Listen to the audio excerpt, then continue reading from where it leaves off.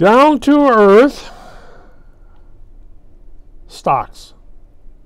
Stocks that have been earning money for the last 30, 40, 50 years.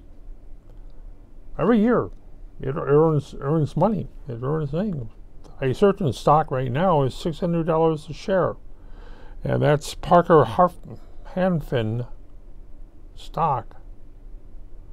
And as I said, you know, last 30, 40, 50 years, that company has has products in just about everything you have, including this thing.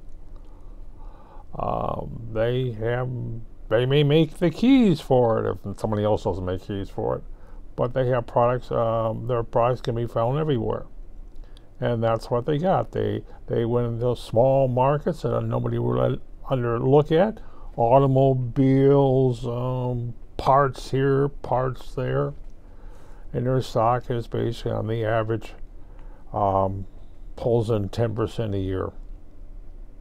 Huh? Better than treasury bonds? Yes, and Warren Buffett loves that.